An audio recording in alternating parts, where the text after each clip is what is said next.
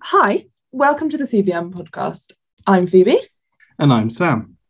And we're back this episode with an interview with Brother Mike LeDuke from Ontario in Canada to talk to us about the work that he does in particular with This Is Your Bible. And sadly, we, we didn't have the budget for a flight to Canada. So this interview was done over Zoom. And so we apologize. Uh, because of that, the sound quality is a little bit crackly in some places.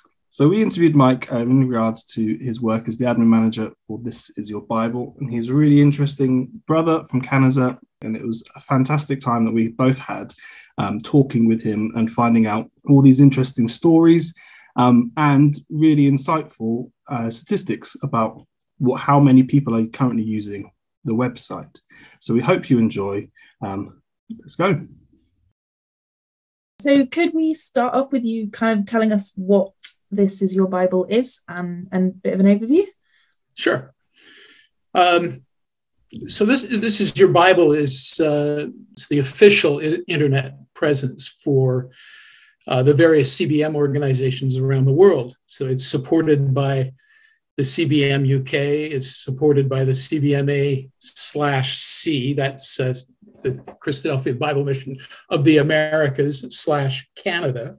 And then the ACBM is very active. This is your Bible.com is an English language uh, site. And it's kind of cool in a way because there are a lot of people in, in uh, non English speaking countries that are really keen to use sites like this to learn about the Bible, but also to improve their English and connect with English speaking tutors. So we uh, we have a, a, a worldwide um, audience, and uh, right now we have over forty thousand people registered on the site. We have uh, between sixty and seventy thousand on average visitors a year to the site, uh, and of those forty thousand, not all of them are active currently. We have we have about almost 30% of them are active, like about 28,000, I think. Uh, not, no, not 28,000. What am I saying? 12,000. Well, if you, to be precise, 12,141. How's that? um, so we and we have over 500 Christadelphians signed up who are now active as as tutors. We have a, like 500 and see if I can see my little thing. I think it's 512. Nope, 552 tutors. and uh, and we've and we've had over over the year. We started uh, the the site started in 2006. Uh, it was the brainchild of the CBMA actually through brother David Jennings, and David got uh, yours truly and brother Peter Forbes from the UK involved. And Peter and I uh, worked very, very closely on the initial versions uh, of the site.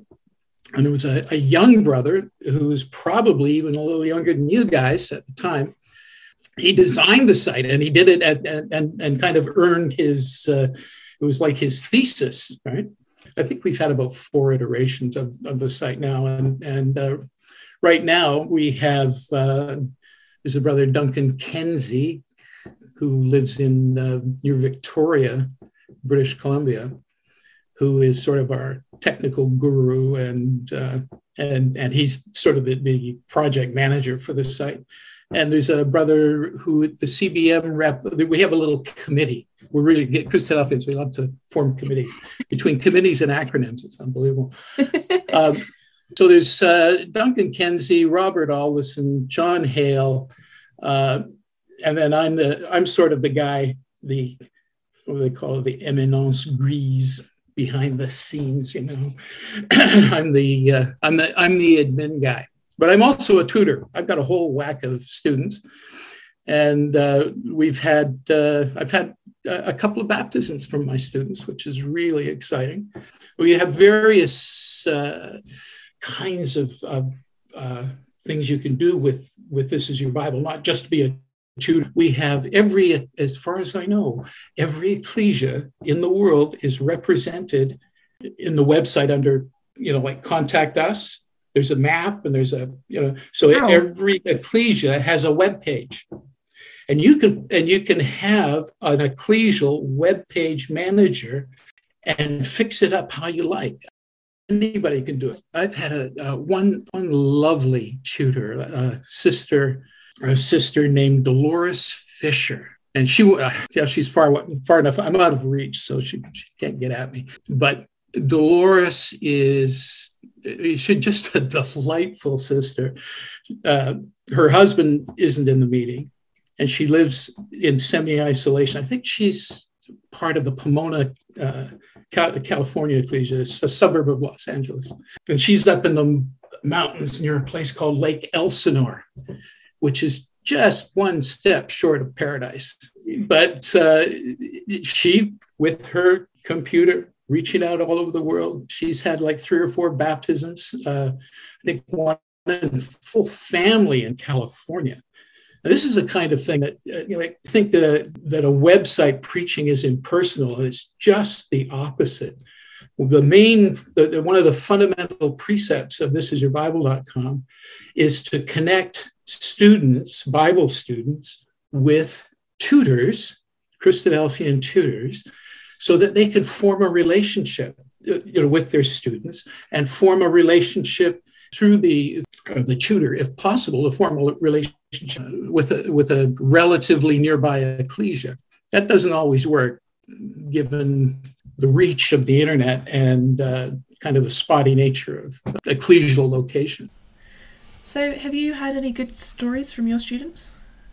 I, I had a student, uh, and uh, she lived in Toronto. I live in a place called Waterloo, which is about an hour and a half west of uh, Toronto, a little bit north. She had known a brother and uh, and his family because her husband used to work with this brother. And this brother's name is Al Hussey. So she had known Al, was very impressed with the with him and his family and what Christadelphian seemed to stand for.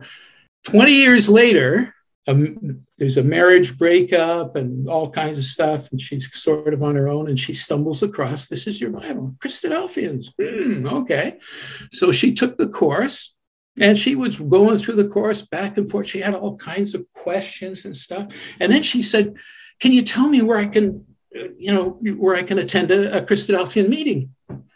So I said, "Well, you should, yeah. Why don't you try Bible class to begin with?" So I told her about uh, ecclesia called Cosburn Avenue, which is now Toronto East. It's one of the larger ecclesias in, in Toronto. so one one evening, Bible class evening, she shows up. Bible class starts at eight. She's there at about two minutes after eight. They just finished. They're nothing if not punctual around here. Just finished the uh, the opening prayer, so she waited and, and down, down in the basement of the hall, right? So she goes down in the basement of the hall, and everybody's gathered around, you know, sitting around uh, tables with their Bibles open. And this this sister was very shy. Yeah, not. She came in and said, looked at everybody and said, "Hi, I'm Joanne. I'm new." it's hilarious and she hooked up with uh, a brother and sister, uh, and they uh, took her under their wing. Not only did she flourish with the instruction and everything, and was eventually baptized, uh, the Dawes and, and she are lifelong friends now. That what that's what it's all about, right? Yeah, it's amazing. amazing. Yeah, yeah. And uh, these kinds of stories are replicated all over the place. Let me uh, back up a bit and and uh, just say a little bit more about what's available on thisisyourbible.com. So as I say, we've got a, a, section of videos. So we've so we've got a we got a section on videos. We've got uh, just about every pamphlet uh, known to Christadelphia uh, under our library section, broken down into sections like doctrine. Uh, we we even have the little short ones, the basic Bible teaching booklets and you can access all of those. We also have a, a, a, database for anybody can access, like any visitor, casual visitor coming in, can access uh, this database of questions. There are thousands since 2006, just thousands of questions and answers. And there's a little search thing that you can type in, say, Trinity, and all the stuff, questions on the Trinity, oh, Holy wow. Spirit, you know, all that kind of stuff. So if you're looking for information, just you know, if you if you're just kind of hunting around for information, you can go to thisisyourbible.com and use it as a resource, as a little library. And also, the library section has all these different uh, bits of. Uh, there's there's lots of lots of stuff in there, uh, lots of good information. Uh, you don't have to reinvent the wheel. So if somebody, if you're a tutor, for example, if somebody, some student asks you a question, you don't have to reinvent the wheel. You probably it's been asked. I mean, there's I don't know how many thousand Q and A's we've got. We got a brother, a lovely brother, uh, brother Glenn Smith, uh, for the last couple of years has been uh, answering the questions, and he's amazingly thorough. Um, there's a thing prompt there that says "Ask a question." we have uh, uh, a, a, blog. Uh, that blog changes uh, monthly. Right now, it's called the, the, current one is called Required Happiness, uh, which is kind of interesting. Um, and uh, and we have a, we also have a survey question. So, for example, this month's survey question is: Once saved, always saved.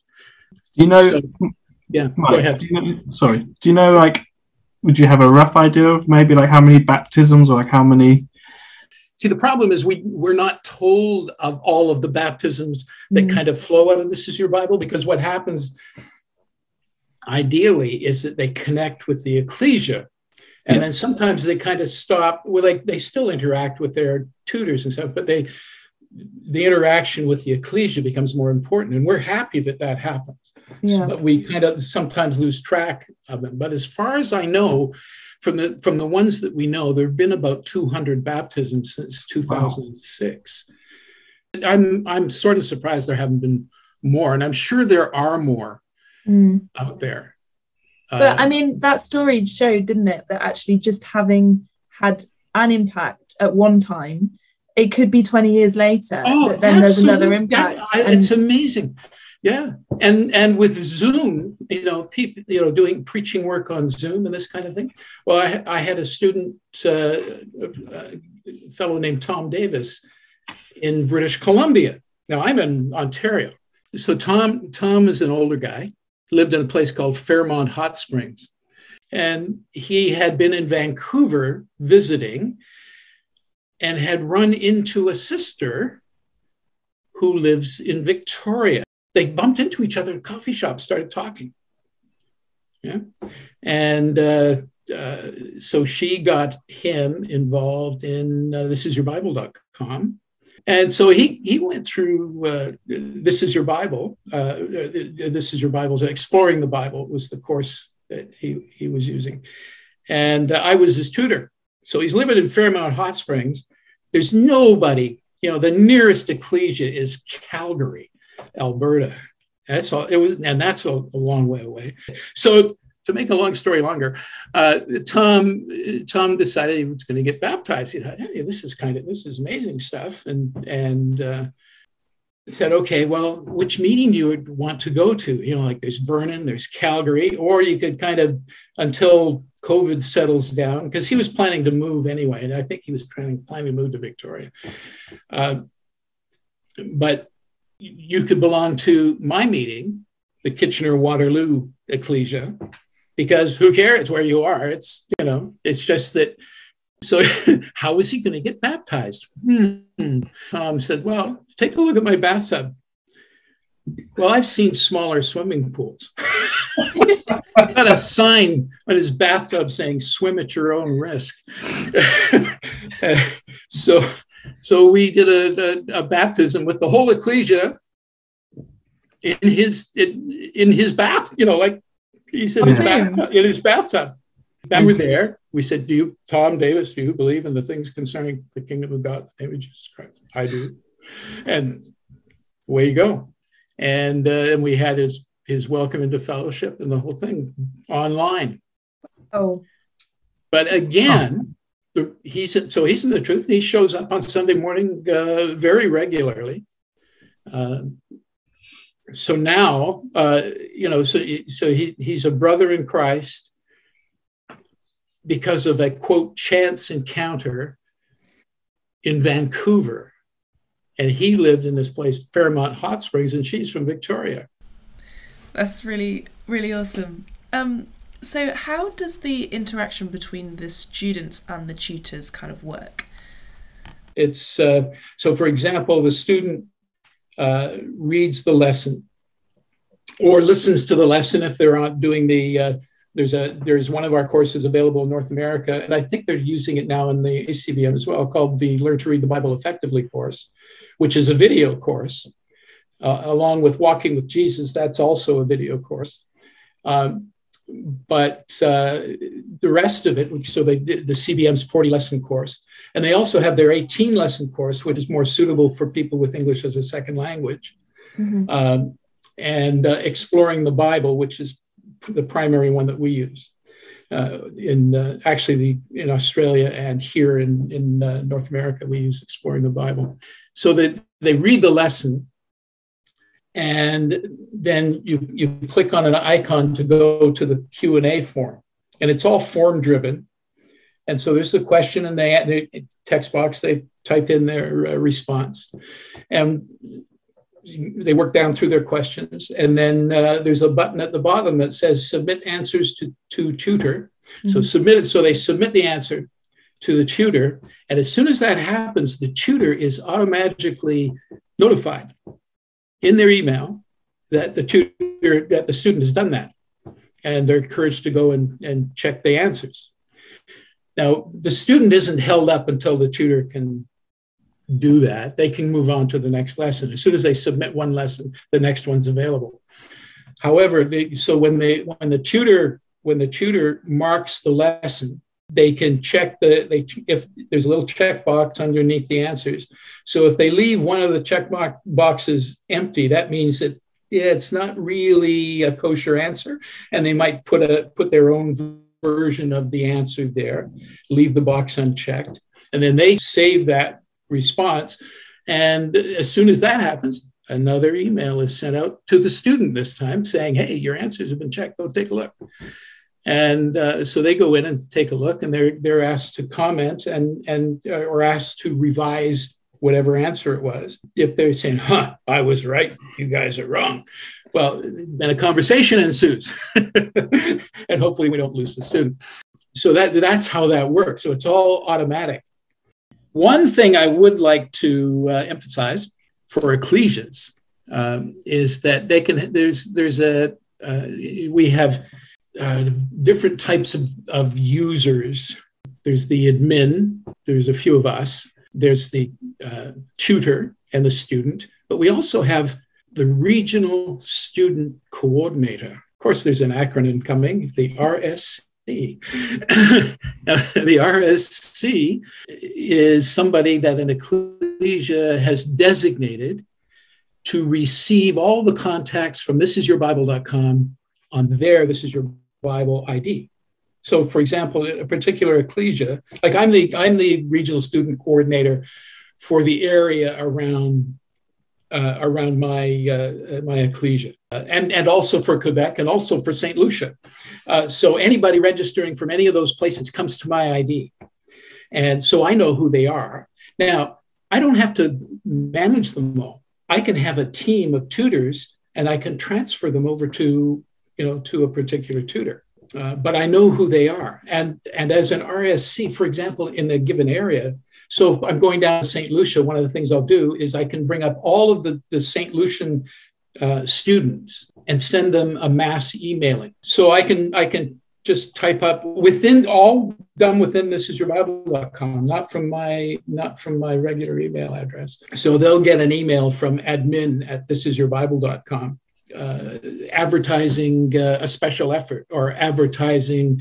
Uh, we're planning on doing some radio, maybe some TV spots in St. Lucia uh, in the in the coming year, so we can advertise that uh, to them as well. So we've and so so you know we can hit these people. We've got their email addresses. We're sort of we're allowed to do that because we're you know we it's it's all done within the boundaries of thisisyourbible.com. Okay. So it's not using it as something you know something different like selling their IDs. Or... Yeah, it's anyway. It just does sound amazing. Is there anything um, else? Yeah, is is there anything else that you'd kind of like to say or tell us or anything um before we leave you to it or uh, yeah. Um, Well, just that this is your bible.com people need to remember. There's uh, so it's it's sort of an official cbm or christadelphian site.